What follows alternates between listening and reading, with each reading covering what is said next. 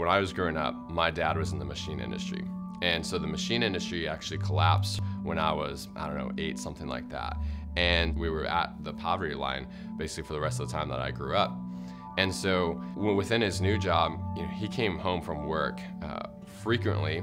just really burdened with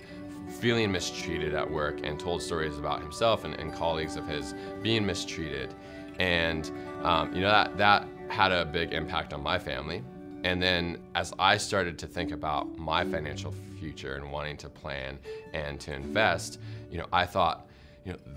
this is an example of a company that I don't want to be invested in. You know, I thought of uh, there are many companies out there that would have a similar negative impact on other families like mine, and so I realized that that you know that that was an avenue that I didn't really want to be uh, exposed to within my investing, or those companies weren't companies that I wanted to be exposed to, and so I really wanted to pursue companies that you know add value to uh, their employees and that see them as an investment rather than a cost.